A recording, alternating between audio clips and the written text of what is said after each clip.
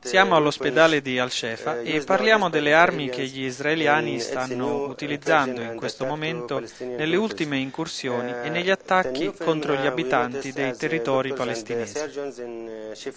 Strani fenomeni sono stati notati dai dottori e dai chirurghi all'ospedale di Al-Shefa, l'ospedale principale di Gaza che appartiene al Ministero della Salute.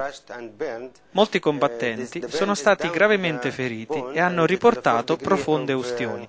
Le ustioni arrivano fino alle ossa e si tratta di ustioni di quarto grado.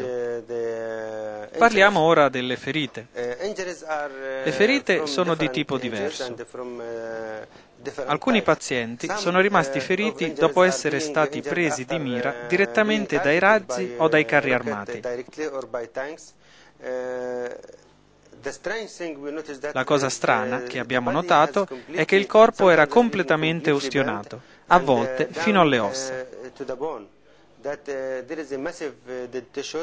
Si trattava di lacerazioni gravi dei tessuti e i tratti facciali erano completamente distrutti. Tanto che nessuno riusciva a riconoscere la vittima, nemmeno le persone più vicine e gli amici più stretti.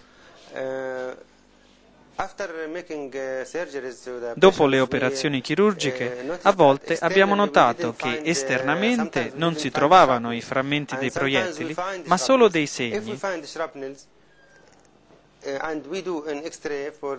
Quindi abbiamo eseguito una radiografia, ma non siamo riusciti a trovare questi frammenti dei proiettili nemmeno con la radiografia.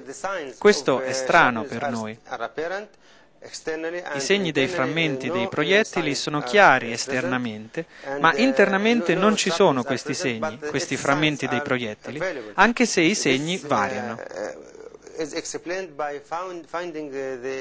Inoltre abbiamo riscontrato che il fegato è completamente distrutto e l'intestino è totalmente lacerato e ustionato.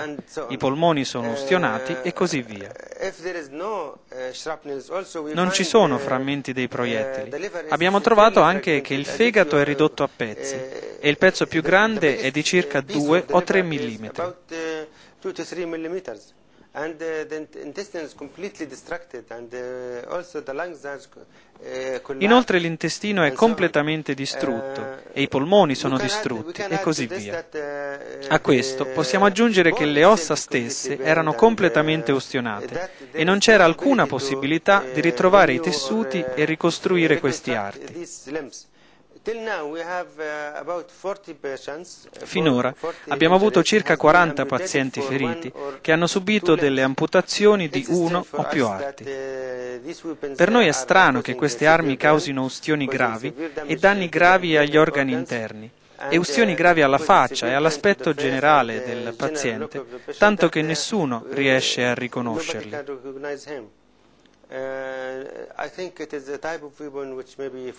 Credo che siano state usate delle sostanze come il fosforo o armi come quelle ad energia o al laser o simili.